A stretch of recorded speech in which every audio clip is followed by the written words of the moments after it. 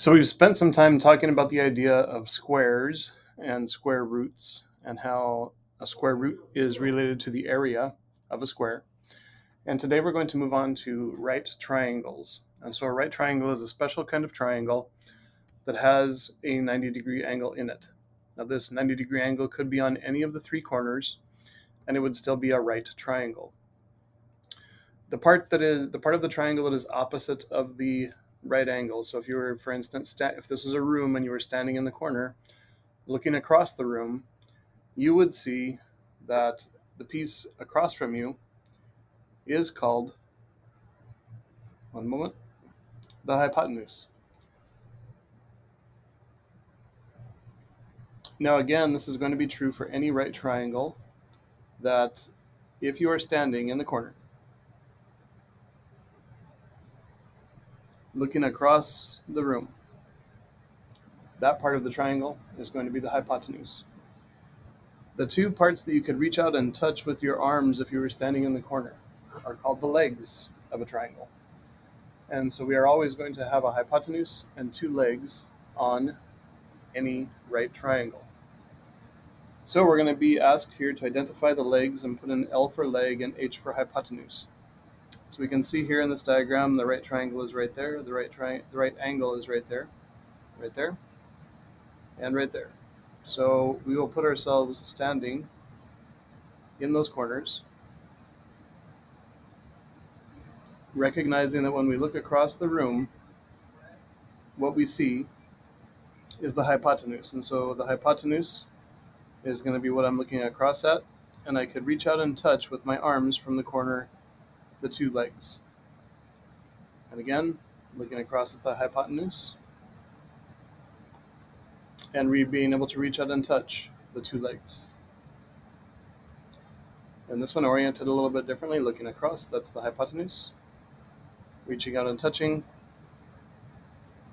the two legs. And then lastly, looking across to the hypotenuse and being able to reach out and touch the two legs. So it doesn't matter how a triangle is oriented. You're always thinking about if I was standing in the right angle corner, I'm looking across at the hypotenuse and I would be able to reach out and touch the legs. So another way that mathematicians do this is instead of just being HLL, each side gets its own letter of the alphabet. And the three letters that we choose to use are a lowercase, always lowercase, A, B, and C. Now the order of these doesn't matter as long as C is always the hypotenuse. And so I'm going to label each of these in a color-coded fashion, but I'm going to go first and label C. So again, if I'm standing here, I'm looking across at the hypotenuse, that would be side C. And so it's important to understand again that it doesn't matter where A and B land. So for instance, A could be this side and B could be that side, or A could be this side and B could be that side. That doesn't matter, and I'm actually going to put the word or between them. So A or B, B or A. And so the color coding here matters. The A and the B that are blue go together, the A and the B that are green go together you can't have two A's and you can't have two B's. You have to have one A, one B, and one C. And again, the only thing that matters is that the hypotenuse is labeled C. So again, standing in the 90 degree corner here, we have looking across. This is going to be our side that is C. We could call this side A, we could call this side B, or we could call this side B, we could call this side A. Alrighty, moving on to the next. Standing in the corner, looking across, that's our hypotenuse, that has to be C. And this side could be A, this side could be B, or the alternative. This side could be B, this side could be A. Then lastly, standing in the corner, looking across, our hypotenuse has to be C. And we could make this side A if we so choose, and this side B. Or we could have this side be B and have this side BA. Again, you need one of each of the three. You need one A, one B, and one C. The placement of A and B don't matter. The placement of C does. C has to be the hypotenuse. Okay. Moving on to the next piece here, we see that the right triangles below were created using squares. And so basically we got some building blocks and stacked them in such a way that they form a right triangle. Now for each square, the area is labeled. So the squares that make the legs of the triangle have been labeled as A or B. And so remember that C is the only one that really matters. It has to be the hypotenuse. And so the square that makes the hypotenuse of these triangles is labeled C we're asked to use those figures to fill in the following table. So it looks like the first one is done for us. We can see that the square that is a 1 by 1, which is the square right here, 1 by 1, has an area of 2. Or sorry, has a hypotenuse square with an area of 2. And so we're just going to follow that basically throughout and fill this table in. We don't even have to do any thinking, we just are copying and pasting. So Square A on figure 2 is 4 units. Square B is 1 unit. Square C is 5 units.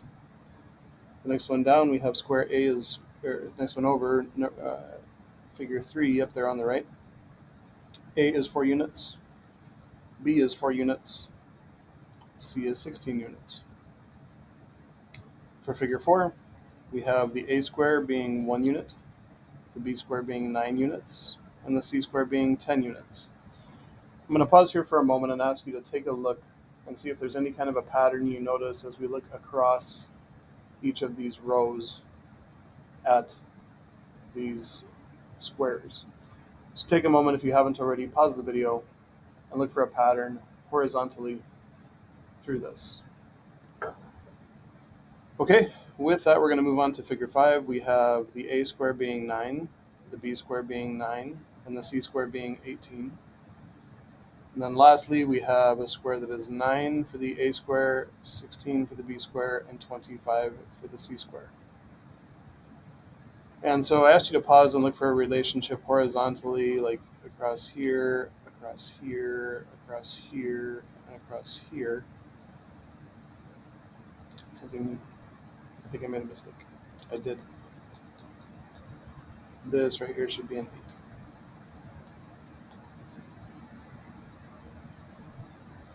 Because the c square is 8 for that one, not 16. Typo. And so we're looking for patterns going across.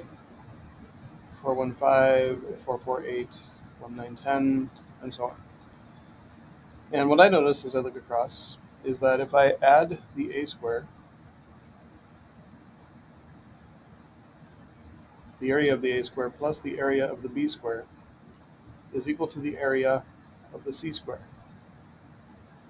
And another way to say that is that we need to remember that to find area of a square, we basically multiply the side by itself.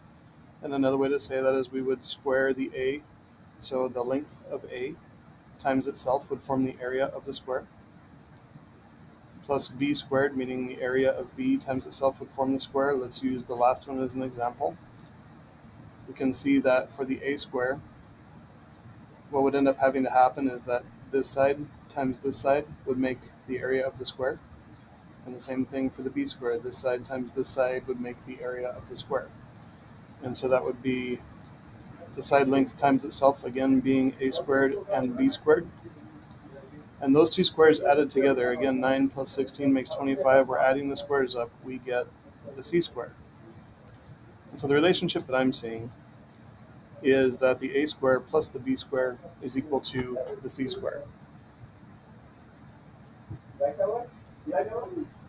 So moving on to the next, we're going to be looking at these, trying to figure out uh, using a method, we're going to use a, the pattern we have noticed to uh, create a rule. The pattern we have noticed is a rule mathematicians call the Pythagorean theorem.